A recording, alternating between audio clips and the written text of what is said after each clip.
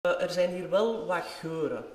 Je hebt natuurlijk heel veel geur van frieten, vlees. En dat is voor sommige honden misschien wel een uitdaging, maar dat is natuurlijk ook zo. Onze honden zijn daar wel op getraind. Het is niet de bedoeling als wij een huiszoeking doen. En die mensen die hebben daar net eh, een goed pannetje vlees gekookt afgebakken, dat onze honden dat gaan opeten. En die moeten wel leren van overal af te blijven. Dus dat is natuurlijk hier wel een uitdaging, maar ook weer een goede training.